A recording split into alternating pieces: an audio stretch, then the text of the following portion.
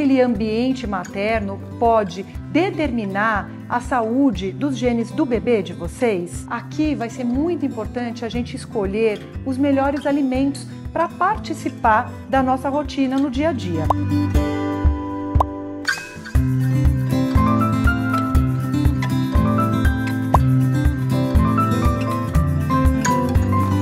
Eu trouxe para ilustrar um prato com todos os grupos alimentares que eu comentei com vocês, para justamente a gente acertar aqui o que seria ideal a gestante consumir durante todos os trimestres da gestação. Primeiro vai ser o grupo dos carboidratos.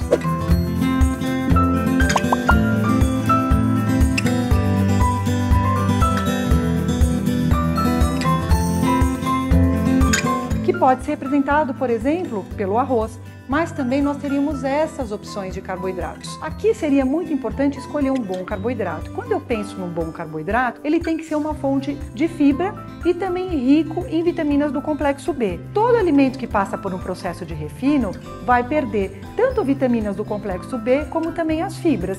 Por isso que nesse arrozinho branco aqui, o ideal seria eu colocar por exemplo, um pouquinho de gergelim ou salpicar um pouquinho das oleaginosas para poder fazer com que esse arroz tenha aí uma melhor absorção. Além disso, fora os carboidratos, tem um grupo fundamental que é o grupo das proteínas.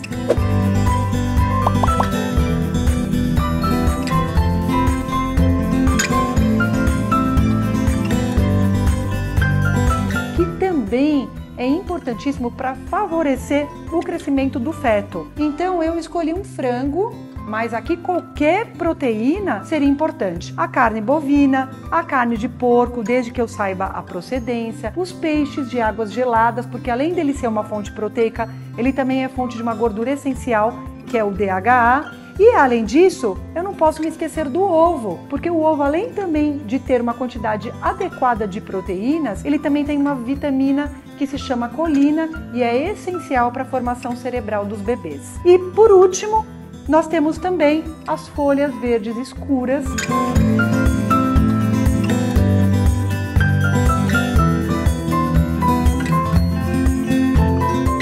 que são fontes riquíssimas de vitaminas e minerais. Aqui eu posso incrementar também com beterraba, com cenoura, com tomate.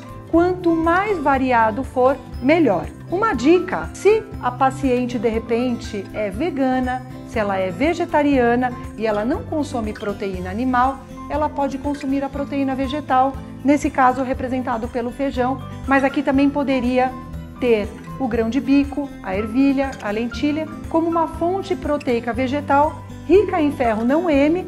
E se eu trabalhar com frutas com teor adequado de vitamina C, eu potencializo a absorção desse ferro e com isso eu acabo tendo uma alimentação bem equilibrada e variada para poder fornecer uma quantidade adequada de vitaminas e minerais para o bebê.